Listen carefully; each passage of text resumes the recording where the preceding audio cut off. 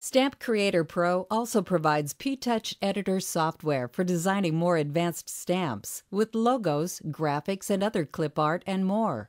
You'll find a wide range of editing tools across the top, similar to what you find in common office programs like Microsoft Word. Here you'll be able to access any fonts on your computer, add effects to your text, include symbols and clip art.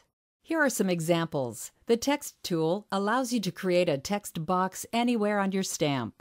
The Arrange Text tool allows you to add text in different arrangements to your layout. The Decorative Frame tool allows you to specify settings for a frame to be added to your layout. The Table tool allows you to insert a table into your layout. The Image tool allows you to import graphics from a scanner, digital camera, or other clip art source to your layout.